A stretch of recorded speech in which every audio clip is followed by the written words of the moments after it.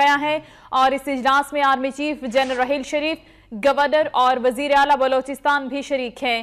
D G I S P R D G M O D G M I کی اجلاس میں شرکت۔ اہم خبر آپ کو دے رہے ہیں کوئٹہ سے، جہاں پر وزیر اعظم یا محمد نواز شریف کی زیر صدارت سیکیورٹی کے تمام معاملات پر اعلیٰ سطح کا ایک ہنگامی اجلاس بلایا گیا ہے۔ اور اس اجلاس میں army chief general Raheel Sharif شریک ہیں۔ اور ساتھ ہی ساتھ گورنر اور وزیر اعلیٰ بلوچستان بھی موجود ہیں۔ ساتھ ہی ساتھ D G I S P R ہے ڈی جی ایم آئی ہے اور ڈی جی ایم او بھی موجود ہیں۔ اسی حوالے سے مزید جانیں گے وطن یار سے۔ وطن یار، بتائیے گا اس اجلاس کی تفصیلات۔ ہاں، وزیر اعظم پاکستان اب سے دو گھنٹے پہلے سانحہ کوئٹہ کے واقعے کے لیے یہاں پر تشریف لائے تھے کوئٹہ پر۔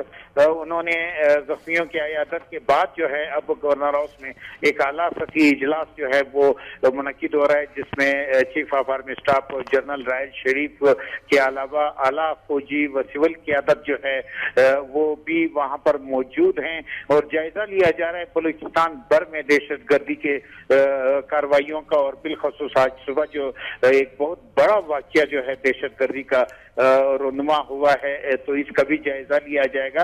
اور ذرا یہ بتا رہے ہیں کہ ایک اسٹریٹجی بنائی جائے گی دہشت گردی کے روک تھام کے لیے کہ دہشت گردوں کو کس طرح روکا جائے اور ان کے خلاف کس طرح کے اقدامات اٹھائے جائیں۔ تو جو بیسک مقصد ہے اس، آج کے اجلاس کا، اس کا یہی ہے کہ بلوچستان کو اور بالخصوص دارالحکومت کوئٹہ کو پرامن بنانا ہے، تو اس کے لیے ایک اسٹریٹجی اور اقدامات جو ہیں وہ تجویز کیے جا رہے ہیں۔ اور یہ بھی ذرائع نے بتایا کہ اس اجلاس میں اہم اور سخترین فیصلے کیے جائیں گے، جس میں یہ بھی ہو سکتا ہے کہ پاک افغان بارڈر جو کہ اب جگہ جگہ سے کلب ہے، اس کو بھی مکمل طور پر سیل کرنے کے اقدامات بھی زیر غور آئیں گے۔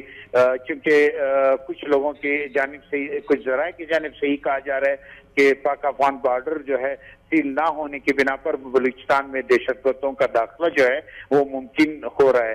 تو ان ساری چیزوں پہ جو ہے وہ تفصیلی جی۔ غور و خوص کیا جا رہا ہے اور اقدامات تجویز کیے جائیں گے کہ بلوچستان کو افغان بارڈر کو مکمل طور پر بند کرنے کے حوالے سے بھی کوئی فیصلہ سامنے آ سکتا ہے۔ آج کے سہم اجلاس میں وطن یار ہمیں اپڈیٹ کر رہے تھے۔ شکریہ آپ کا۔